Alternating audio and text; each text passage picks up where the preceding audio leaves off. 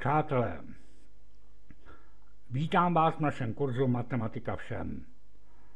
Jsme v desáté kapitole, kterou jsme zasvětili diferenciálnímu počtu funkcí jedné proměné. Druhý odstavec této kapitoly věnujeme větám o střední hodnotě. A ve třetím pododstavci druhého odstavce se zabýváme extrémy spojitých funkcí v uzavřeném intervalu. Uvedeme si třetí pokračování, kde budeme řešit příklady na určování extrému spojitých funkcí jedné proměny v uzavřeném intervalu, případně bez sjednocení uzavřených intervalů, při použití Weierstrassovy věty a nutné podmínky pro lokální extrém, s tím, že se budeme věnovat funkcím elementárním. Příklad 33. Vyšetříme extrémní funkce fx, která je definována předpisem závorka x minus 5 krát třetí odmocna z x na druhou, vzhledem k uzavřenému intervalu s krajními body minus 1, 8. Za A. Určíme definiční obor funkce f, tady nejsou žádné omezující podmínky pro definiční obor, proto definičním oborem funkce f je množina všech reálných čísel, tedy v našem případě otevřený interval minus nekonečno nekonečno. Uzavřený interval s krajním body minus 1, 8 je částí definičního oboru funkce f, nebo podmnožinou definičního oboru funkce f. Takže podle věty o spojitosti elementárních funkcí jsou splněny předpoklady Weierstrassovy věty.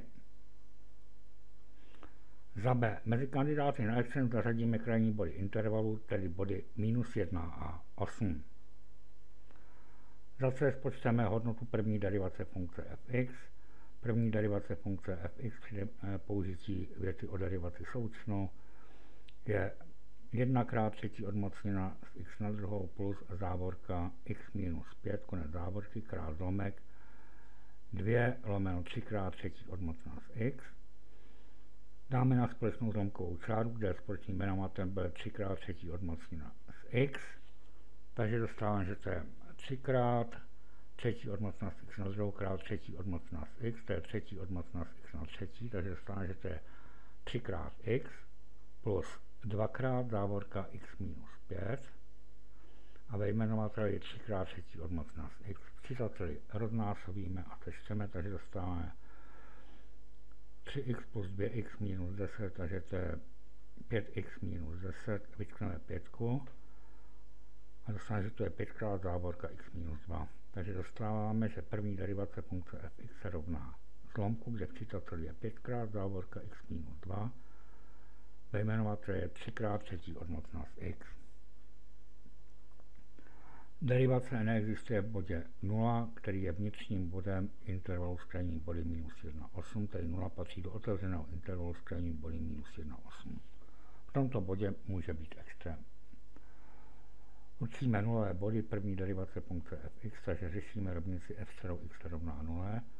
To je právě to, když zlomek, kde v čítateli je 5 krát závorka x minus 2 konec závorky, aby jmenovateli 3 krát třetí odmocnost x rovná 0. To je právě to, když 5 krát závorka x minus 2 konec závorky se rovná 0. To je právě tehdy, když x minus 2 se rovná 0. A to je právě tehdy, když x se rovná 2 x rovná se dvěma je prvek otevřeného intervalu stejný body minus 1, 8, proto i v bodě 2 může být extrém. Takže máme čtyři body, ve kterých může nastat extrém, a to jsou body minus 1, 8, 0 a 2. V těchto bodech spočítáme funkční hodnoty, takže za D. Funkční hodnota funkce v bodě minus 1 je závorka, minus 1, minus 5 konec závorky, krát třetí odmocnost minus 1 na druhou. Minus 1 na druhou jednička, třetí odmocnost 1 je 1. Takže to je minus 6 krát 1 a to je minus 6. Takže funkční hodnota funkce f bodě minus 1 se rovná minus 6. Funkční hodnota funkce f bodě 8 je závorka 8 minus 5, konec závorky, krát třetí odmocnost 8 na druhou. 8 na druhou je 64, takže máme třetí odmocnost ze 64. Ale 64 se dá vyjádřit tak také jako 4 na třetí. Takže dostáváme, že funkční hodnota funkce v bodě 8 se rovná 3 krát třetí odmocněno ze 4 na třetí. a je třetí odmocněná ze 4 na třetí jsou 4, tedy funkční hodnota funkce f v bodě 8 je 3 x 4 a to je 12. Dál funkční hodnota funkce v bodě 0 je závorka 0 minus 5 konec závorky krát třetí odmocněná z 0 na druhou, takže to je minus 5 krát 0 a to se rovná 0, takže funkční hodnota funkce v bodě 0 se rovná 0. A funkční hodnota funkce v bodě 2 se rovná závorka 2 minus 5 konec závorky krát třetí odmocná ze 2 na druhou. Takže to je minus 3 krát třetí odmocná ze 4. Takže nejmenší funkční hodnota je minus 6, největší funkční hodnota je 12. To je, a funkce fx nabývá v bodě 8 maximum a v bodě minus 1 minimum vzhledem k uzavřenému intervalu s krajními body minus 1, 8. Příklad 34. Vyšetříme globální extrémní funkce fx, která je rovna arcus cosinus argumentu 1 minus x na druhou. Za a určíme definiční obor, takže musí platit minus 1 je menší nebo rovno 1 minus x na druhou, to je menší nebo rovno 1. Takže odečteme jedničku a dostaneme, že je to ekvivalentní na rovnici minus 2 je menší nebo rovno minus x na druhou, to je menší nebo rovno 0. Vynásobujeme minus jedničkou, takže dostaneme, že je to ekvivalentní 0 je menší nebo rovno x na druhou, to je menší nebo rovno 2. Ale pro jakékoliv reálné číslo x platí, že x na druhou je větší nebo rovno 0. Takže levou nerovnici můžeme vynechat a dostáváme x na druhou je menší nebo rovno 2. To je právě tehdy, když 0 je menší nebo rovna 2 minus x na druhou. A 2 minus x na druhou můžeme rozložit jako odmocná ze 2 minus x v závorce krát závorka odmocná ze 2 plus x. Takže dostáváme, že definiční obor funkce f je uzavřený interval minus odmocná ze 2 plus odmocná ze 2, takže uzavřený krajním bodem minus 2 odmocná ze 2 podle věty o spojitosti elementárních funkcí jsou splněny předpoklady Weierstrassovy věty, proto ji můžeme použít. Za B mezi kandidáty na extrém zařadíme body minus odmocná ze dvou a odmocná ze dvou. Zase spočneme první derivaci funkce fx, první derivace funkce fx se rovná zlomku 2x, to celé lomeno, druhá odmocněná a pod odmocnou je 1 minus závorka 1 minus x na druhou, konec závorky, to je na druhou. První derivace existuje v otevřeném intervalu s krajním body minus odmocněná ze dvou, odmocněná ze dvou. Je nulové body derivace můžeme zahrnout mezi kandidáty na extrém, tedy řešíme rovnici f kterou x rovná 0. To je právě tehdy, když 2x to celé lomeno druhá odmocněná z výrazu 1 minus závorka 1 minus x na druhou konec závorky to celé na druhou se rovná 0. To je právě tehdy, když 2x se rovná 0, to je právě tehdy, když x se rovná 0. A 0 je prvek otevřeného intervalu s krajním body minus odmocného ze dvou, odmocného ze dvou. Proto v bodě 0 může být extrém. Takže máme tři body, ve kterých může nastat extrém. Minus odmocného ze dvou, odmocného ze dvou a 0. Za D. Funkční hodnota funkce v bodě minus odmocného ze dvou je arcus cosinus argumentu 1 minus 2. To je arcus cosinus minus 1, a to se rovná pi, protože cosinus pi je minus 1, s tím, že samozřejmě cosinus musíme brát toliko v uzavřeném intervalu 0 pi. Funkční hodnota funkce v bodě odmocného ze dvou je rovněž arcus cosinus argumentu 1 minus 2, to je arcus cosinus minus 1 a to je rovněž pi. No a funkční hodnota funkce v bodě 0 je arcus cosinus argumentu 1 minus 0, to je arcus cosinus 1 a to je 0, protože cosinus 0 je jednička. Z těchto funkčních hodnot je největší funkční hodnota rovna pi a nejmenší funkční hodnota rovna 0. Tudíž funkce fx nabývá v bodech minus odmocná ze dvou a odmocná ze dvou globální maximum a v bodě 0 globální minimum. Upozor na to, že globální extrémy jsou vzhledem k celému definičnímu oboru. Příklad 35. Vyšetříme extrémní funkce fx definované předpisem fx se rovná 3 minus e a v exponentu je minus závorka x minus 1 konec závorky to celé na druhou. Vzhledem k uzavřenému intervalu s krajním body 0,3. Za A. Nejsou žádné omezující podmínky na definiční obor, tudíž definiční obor funkce f je množina všech reálných čísel, tedy otevřený interval minus nekonečno nekonečno. Uzavřený interval s krajním body 0,3 je částí nebo podmnožinou definičního oboru funkce f. Takže podle věty o spojitosti elementárních funkcí, protože funkce fx je elementární, jsou splněny předpoklady Weierstrassovy věty. Za B mezi kandidáty na extrém zařadíme krajní body intervalu, tedy body 0 a 3. Za C spočteme první derivaci funkce fx. První derivace funkce fx se rovná 2 krát závorka x minus 1 krát e a v exponentu je minus závorka x minus 1, to celé na druhou. Jen nulové body derivace můžeme zahrnout mezi kandidáty na extrém. Takže řešíme rovnici f čarou x se rovná 0, to je ekvivalentní rovnici 2 krát závorka x minus 1 konec závorky krát e a v exponentu je minus závorka x minus 1 konec závorky, to co je na druhou se rovná 0. Exponenciála nabývá vždycky jenom kladné hodnoty, takže tato rovnice se redukuje na rovnici 2 krát závorka x minus 1 konec závorky se rovná 0. To je ekvivalentní rovnici x minus 1 se rovná 0 a je ekvivalentní x rovná se 1 x rovná se 1 prvek otevřeného intervalu 0,3, takže to je vnitřní bod intervalu. Proto v bodě 1 může být extrém. Takže máme tři body, ve kterých může nastat extrém 0, 3 a 1. Takže za D spočítáme v těchto bodech funkční hodnoty. Funkční hodnota funkce f v bodě 0 je 3 minus e na minus první, pokud dáme na e na minus první 1 lomeno e, dáme na společnou zlomkovou čáru, takže dostáváme, že f v bodě 0 je zlomek, kde v čítateli je 3e minus 1 ve jmenovateli e. Funkční hodnota funkce f v bodě 3 je 3 minus e na minus druhou, e na minus druhou je 1 lomeno e na druhou, dáme na společnou zlomkovou čáru a dostáváme, že f v bodě 3 je 3 krát e na druhou minus 1 lomeno e na druhou.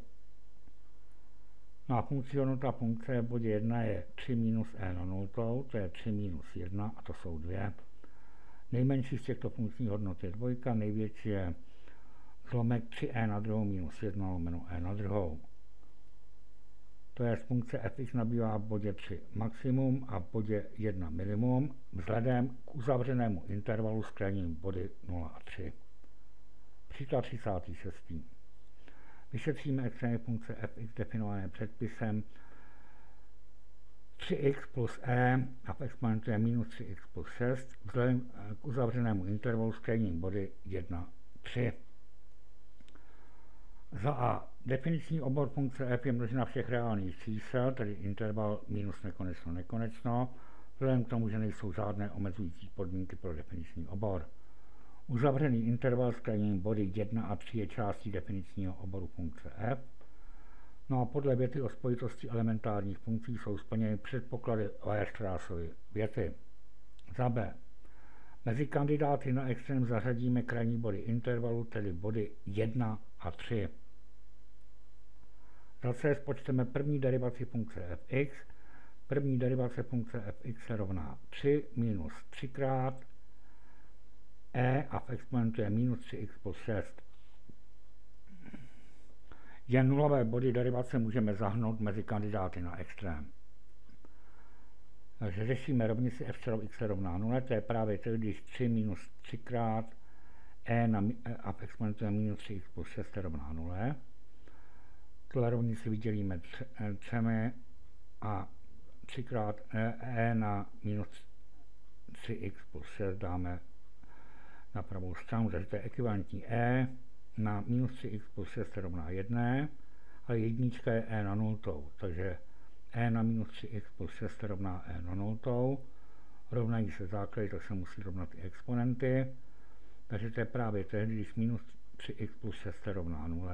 To je právě tedy, když minus 3x se rovná minus 6 a to je právě tedy, když x rovná 2. x rovná se 2 je prvek intervalu s krajním, otevřenou intervalu s krajním body 1, 3, takže vnitřní bod intervalu, proto v bodě 2 může být extrém. Máme tři body, ve kterých může nastat extrém, jsou to body 1, 3 a 2. V těchto bodech spočítáme funkční hodnoty. Takže za D. Funkční hodnota funkce v bodě 1 je 3 krát 1 plus e na třetí, takže 3 plus e na třetí. Funkční hodnota funkce f v bodě 3 je 3 krát 3 krát e na minus třetí, takže to je 9 plus 1 lomeno e na třetí. A funkční hodnota funkce f v bodě 2 je 3 krát 2 plus e na nultu, takže to je 6 plus 1, to je 7 z těchto funkčních hodnot je nejmenší sedmička a největší 3 plus e na třetí. To znamená, funkce fx nabývá bodě 1 maximum a bodě 2 minimum vzhledem k uzavřenému intervalu s body 1 a 3. Příklad 37.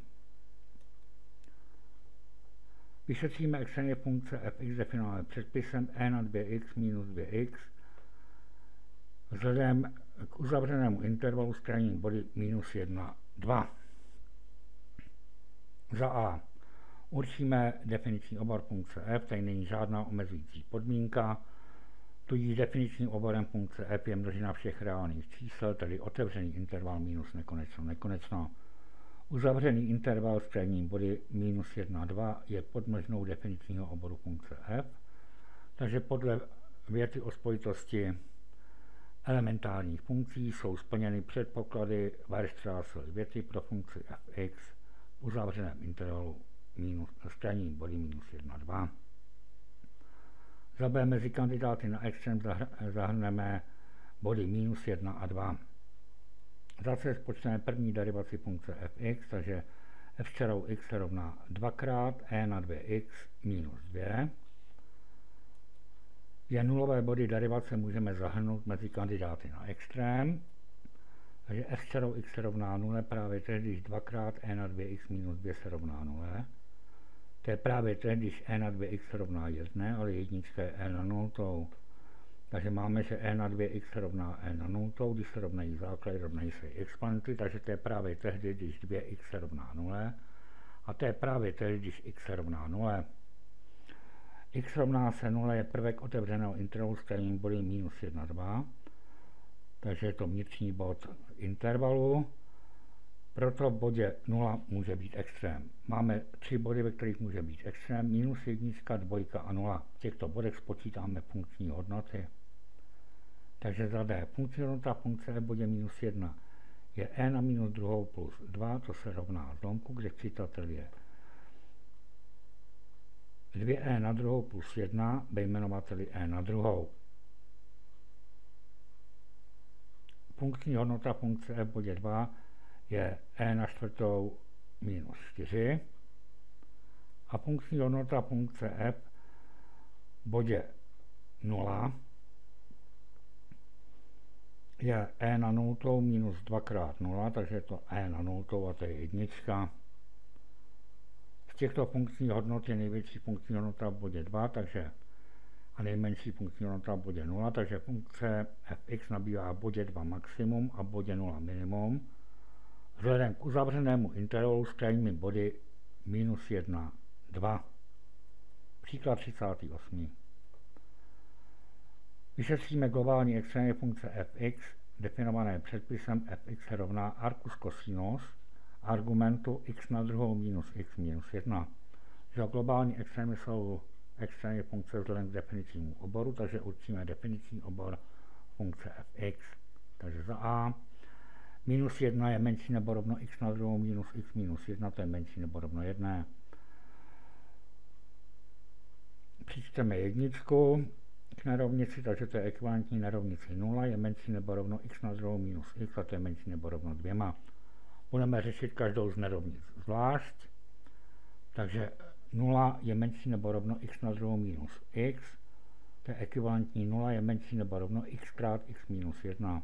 A to je ekvivalentní tomu, že x patří do sjednocení intervalu.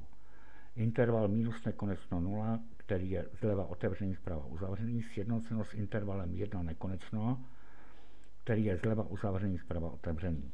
A současně musí platit, že x na druhou minus x je menší nebo rovno 2. To je právě tehdy, když x na druhou minus x minus 2 je menší nebo rovno 0. To je právě tehdy, když závorka x minus 2 konec závorky krát závorka x plus 1 konec závorky je menší nebo rovno 0. A to je právě tehdy, když x patří do uzavřeného intervalu minus 1, 2. Definiční obor je průnikem řešení obou nerovnic, to znamená průnikem uzavřeného intervalu s krajním body minus 1, 2 se sjednocením intervalu minus nekonečno 0, který je zleva otevřený, zprava uzavřený a sjednoceno s intervalem 1 nekonečno, který je zleva uzavřený, zprava otevřený.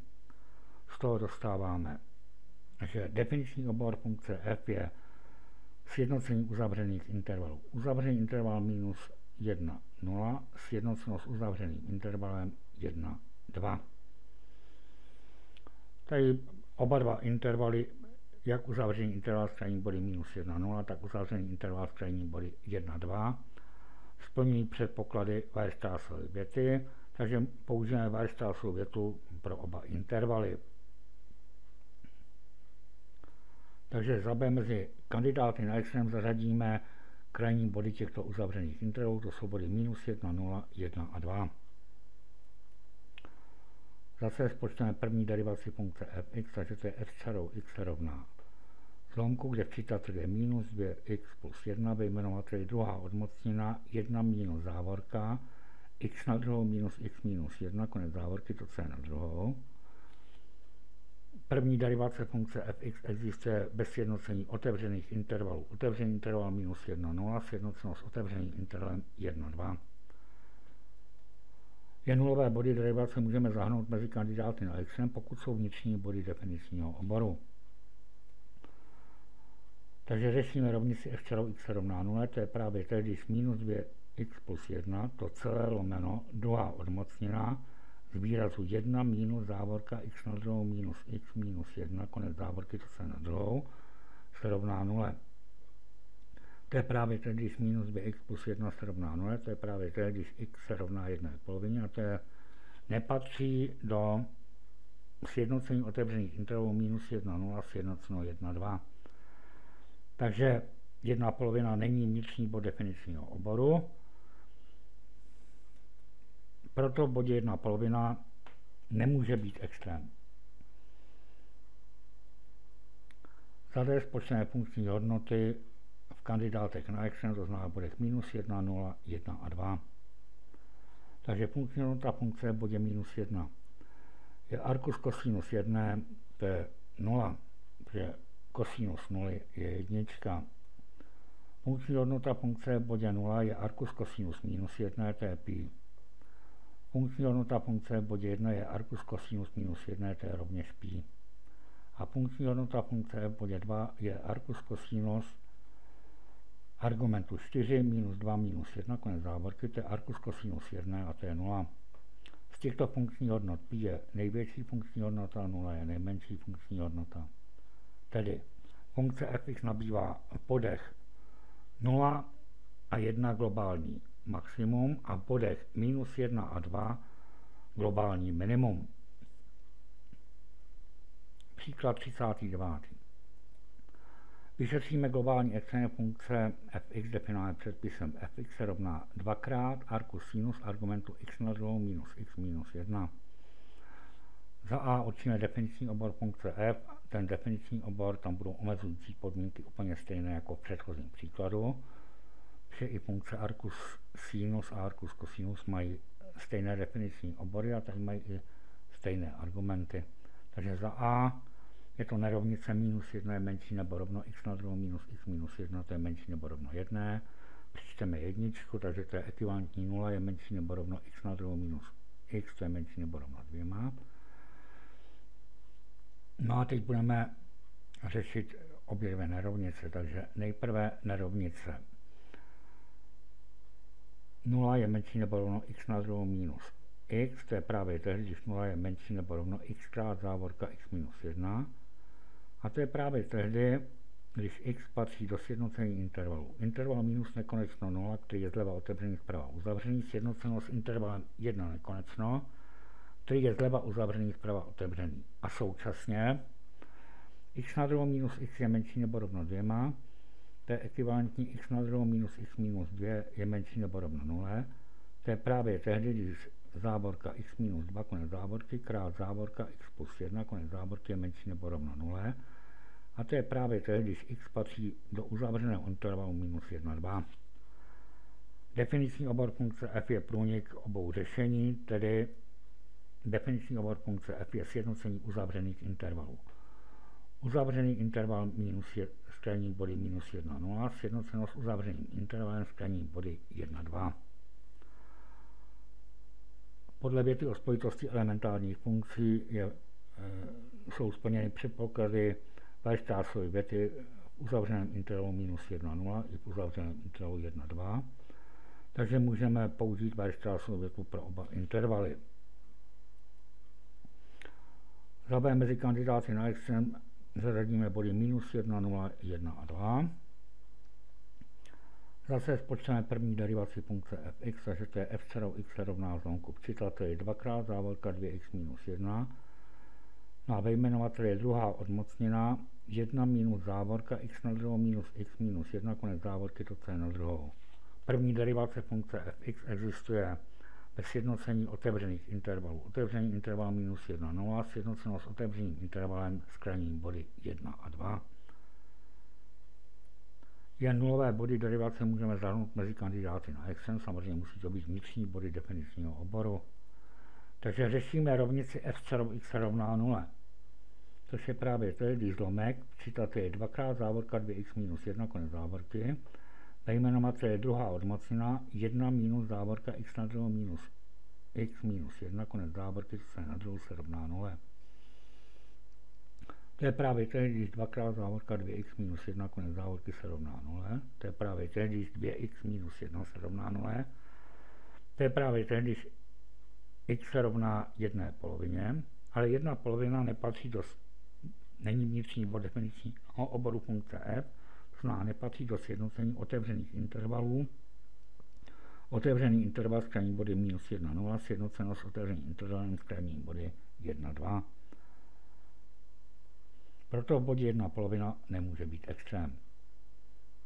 Takže máme čtyři body, ve kterých může nastat extrém, body minus 1, 0, 1 a 2. V těchto bodech spočítáme funkční hodnoty. Takže hodnota funkce v bodě minus 1 je 2 arcus sinus 1, to je 2 pi půl a to je pi. Funkční hodnota funkce f v bodě 0 je 2 arcus sinus minus 1, to je dvakrát závorka minus pi půl, konec závorky, to je minus pi. Funkční hodnota funkce f bodě 1 je dvakrát arcus sinus minus 1, to se rovná dvakrát a závorka minus pi půl, konec závorky, to se rovná minus pi. A funkční hodnota funkce f bodě 2 je dvakrát arcus sinus argumentu 4 minus 2 minus 1, konec závorky. To je dvakrát arcus sinus 1, to je dvakrát pi půl a to je pi. Z těchto funkčních hodnot pi je největší funkční hodnota, minus pi nejmenší. Proto funkce fx nabývá v bodech minus 1 a 2 globální maximum a v bodech 0 a 1 globální minimum. Příklad 40. Vyřešíme globální extrémní funkce fx, která se rovná 5 minus 8 odmocná 4 minus x na druhou.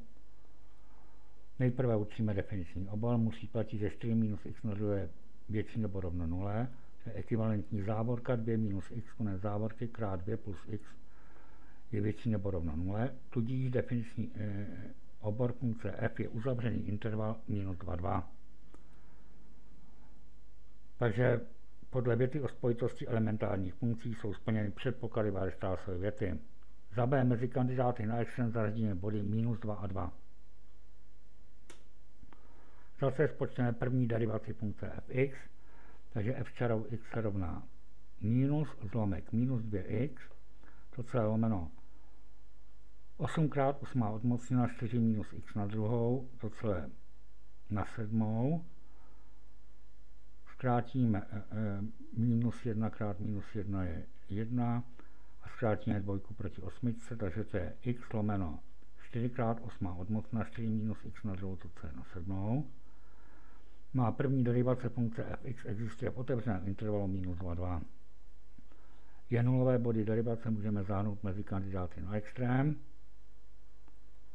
Takže řešíme rovnici f čarou x rovná 0, to je právě to, když x lomeno na 4 x 8 odmocna 1 minus x na druhou, to je na 7 rovná se 0.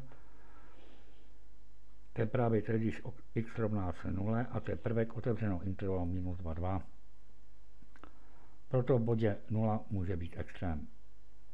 Máme tři body, ve kterých může nastat extrém, minus 2, 2 a 0. Takže za D spočítáme funkční hodnoty v těchto bodech. Funkční hodnota funkce v bodě minus 2 je 5 minus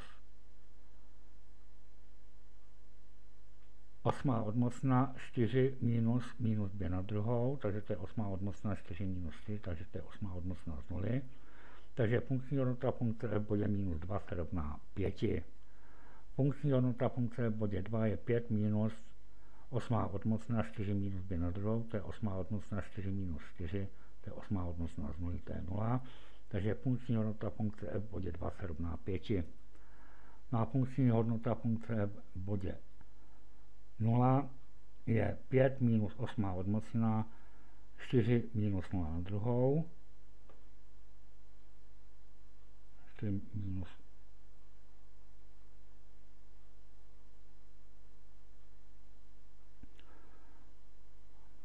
Takže to je 5 minus 8 odmocná ze 4. Takže to je nejmenší punktní hodnota. To je z funkce fx nabývá v bodech minus 2, 2 globální maximum a bodě 0 globální minimum.